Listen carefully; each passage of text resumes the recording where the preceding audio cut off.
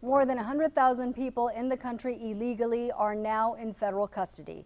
They were arrested in four Stash House bust since Sunday. This is video from one of the busts yesterday. It happened in Donna. 24 people, some of them children, were found crammed inside a small, unair conditioned apartment. These are pictures from a bust in Alamo.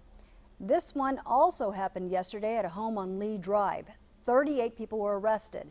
Another stash house was raided in Edinburg and another one in Mission on Sunday where 50 people were found inside.